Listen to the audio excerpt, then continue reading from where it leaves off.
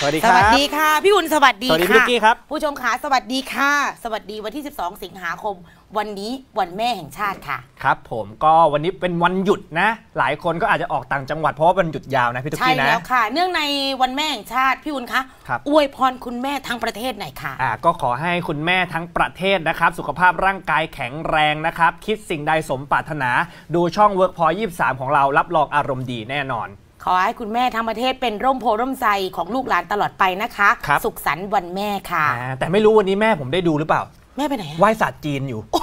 เพราะว่าแม่2วันนะวันนี้วันศาสตร์จีนด้วยใช่ไหมวันนี้คะ วันศาสตร์จีนด้วย แต่พี่โทรหาคุณแม่ตั้งแต่6กโมงเช้าเป็นไงฮะ คุณแม่กวาดลานวัดอยู่ค่ะนี่น่ารักนะครับ วันนี้ก็อย่าลืมบอกรักคุณแม่กันด้วยนะครับ ค่ะ จริง ๆ แล้วทุคกรับปีนะพี่อุ่นนะ 12 สิงหาเนี่ยพี่ต้องกลับอุดรอืมแต่ว่าด้วยสถานการณ์อย่างที่บอกค่ะ คุณพ่อคุณแม่พี่ก็ไม่ไม่ค่อยอยากให้กลับ เพราะว่าเอ่อ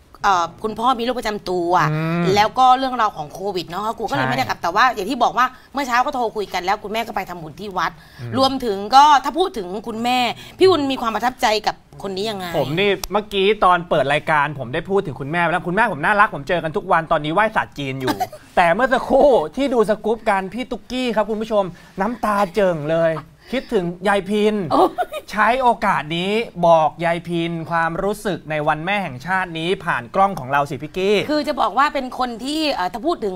การบอกรักพ่อกับแม่เนี่ยจะไม่ค่อยเท่าไหร่อืมเนี่ยจะเป็นคนที่จุกอกตลอดก็ครับยายพินก็ขออนุญาตเป็นภาษาอีสานนะคะ เชิญครับพี่กี้ ก็เอ่อที่สุดของหัวใจแม่หูอยู่ว่าลูก ทำสมือนี่ย้อนแม่ ให้แม่ก็พอมีสุขภาพร่างกายแข็งแรง แล้วก็สิ่งใดก็ตามที่เป็นเรื่องเล่าของโรคประจำตัวของตุกกี้ก็จะสู่กันไป แล้วก็ขอบคุณที่คุณแม่อยู่เคียงข้างตุกกี้เสมอ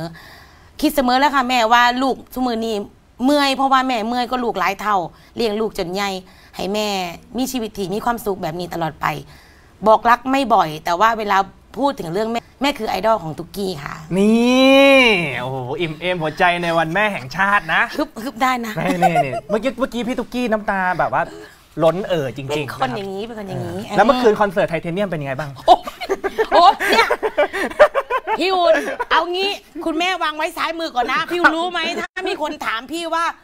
ทำไมตุ๊กกี้ถึงเป็นไบโพล่าครับนี่แหละ เพราะคนอยู่ข้างๆอะทำให้อารมณ์มันสวิงแบบเนี้ย ซึ้งอยู่ดีเราจะจะเต้นอีกแล้วนี่ไม่ใช่แค่แบบว่าซึ้งไม่ใช่แค่เต้นนะ มีมวยให้ดูด้วย เอาไปไปเลย ไปพี่อุ่นไป คืนนี้นะครับ คุณผู้ชมครับอีกรายการหนึ่งที่ทุกคนรอคอย